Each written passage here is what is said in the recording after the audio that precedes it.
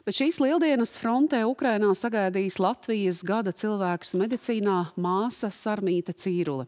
Pārcietusi sprādzienu un kontūziju, viņa atkal ir rotas galvenā mediķe. Sarmīta stāsta, ka ierakumos svētku nav. Katru dienu karavīri cīnās par izdzīvošanu. Un būtiskākais jautājums visiem šobrīd ir viens - vai gana ātri tiks saņemti nepieciešamie ieroči. Šobrīd to trūkums ir viens no iemesliem, kāpēc mēnešiem netiek atstātas pozīcijas un ienaidnieks netiek tiek padzīts no Ukraiņu zemes. Ar Sarmīti Cīruli sazinājās Aija Kīnca. Sarmīti sazvanām pēc nakts dežūras, un viņa dodas nevis gulēt, bet sāk pieņemšanu. Šajos kadros redzams, kādos apstākļos Sarmīti strādā. Gaismas avots - lukturis uz pieres.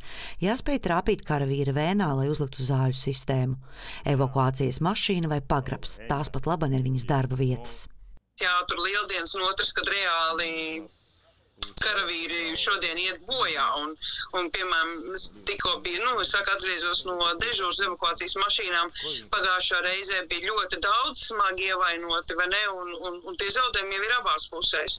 Nu, šis ir smags laiks, mēs, bet mēs tāda priekšnojauta, tā kā arī nu, lieldienās ir tā mistērija, mums arī tāda maza mistērija. Mēs gaidām ieročus, lai būtu tādi normāli pretuzbrukumi un, un ķakustās, jo mēs esam uz vietas jau daudzus mēnešus un, un, un abas puses tādas mazliet tā nogurušas, mazliet tā muļājās, bet uh, tāpat laikā cilvēki reāli iet nu, bojā un jauni puiši.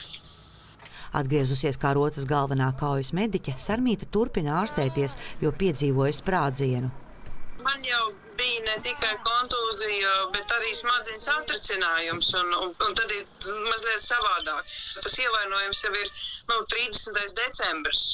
Nav jau ļoti tālu nemaz, un vēl zālīs būs jālieto. Es pati arī izpildu ārsta pavēli. Sarmītei Cīrulei ir arī grāts teoloģijā, un maģistrantūrā viņa mācās vēsturi. Man kristietība ir nevis, kā saka, uz papīra, bet tā ir dzīva. Man ļoti interesanti skatīties, kur pagāniskais ir samījies ar kristietību un nav pazudis no Latvijas, kas saka, mēs ripinām oliņas, jā, un šūpojamies, un tā laikā aizjām uz baznīcu, pasakamies Dievam par tām šūpolēm un olām. tā kā es uz to skatos ar tādu veselīgu humoru. Frontē svētkus nesvin. Es priecājos par katru dienu, kas ir sagaidīta, par katru dienu, kas ir pavadīta. Lieldienas un Ziemassvētki man ir katru dienu.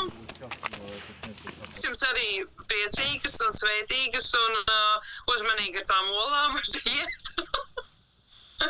Bet, uh, nu, Kristus tad dzīves un augšām cēlies.